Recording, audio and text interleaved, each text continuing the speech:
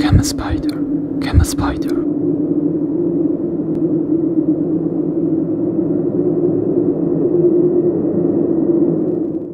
გესალმებით, თქვენ უყურებთ BBR Facts. დღეს ამ ვიდეოში განსაკუთრებულ შერკინებას იხილავთ. ამ შემთხვევაში ორი განსაკუთრებული არსების. ორივე მე მყავს, მე ვყვევავ, ვური.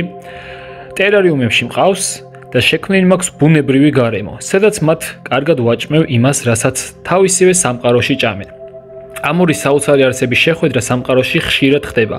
ვინაიდან ორივე ფანანგაც და ჭრელი მორიერიც ერთსა და იმავე საცხოვრებელ გარემოში ბინადრობენ და ამიტომ ხშირად ხვდებიან ერთმანეთს. საინტერესოა, ვინ გამოიმარჯვებს ამ შერკინებაში. ამ შემთხვევაში ეს მათი გამოკვება არ იქნება. გამოიკვებება სწორედ ის, ვინც ამავე შერკინებაში გამოიმარჯვებს და მისივე მეტოქეს დაამარცხებს. მაშასე მოემზადეთ და დატკბით ამ საოცარი ვიდეოთი. მანამდე კი შეგახსენებთ, რომ გამოიწეროთ არხი და დაალაიქოთ ვიდეო. დავიწყოთ. ანამ ჩვენს გიგანტური ზომის ფალანგას მორიელს დაუპირისპირებთ, მანამდე ფალანგასთან ჩავსვი ამერიკული ტარაკანა, რომლებითაც სწორედ ჩემს წვერებიან დრაკოს უყვებავ ხოლმე.